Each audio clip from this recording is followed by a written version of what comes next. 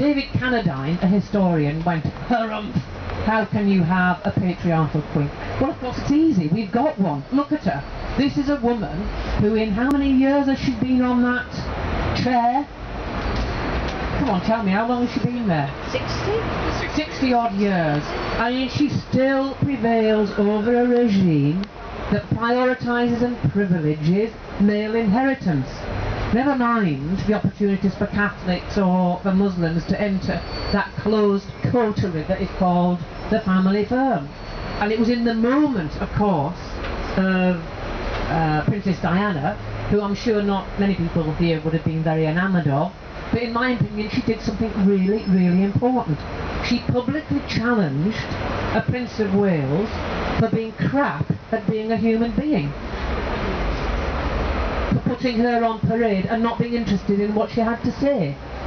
Who abused her actually by enlisting this body of an ingenue into a patriarch, a profoundly and unaltered patriarchal system that was part of the huge patriarchal establishment that still prevails in England. So I think you know you're right to raise as a problem.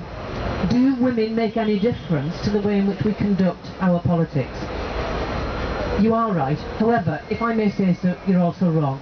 Because there is not one government on planet Earth, apart from perhaps Iceland, and I do believe Wales, where women are in the majority, where women have critical mass. And of course that goes to your point about, well, well, you know, it's a very difficult thing. Women, you know, increasingly move into any environment, corporate, political, or whatever. But actually, in order to survive, the terms are that you have to abide by the rules of engagement.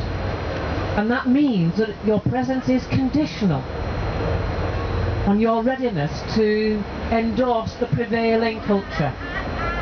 That, that raises very important political problems for us, which is that what we have to imagine, and this was the point actually of what I was trying to say. I wasn't trying to say what we need is women in power.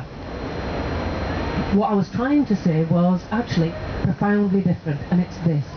You have to factor gender in if you want to make sense of the crisis of capitalism.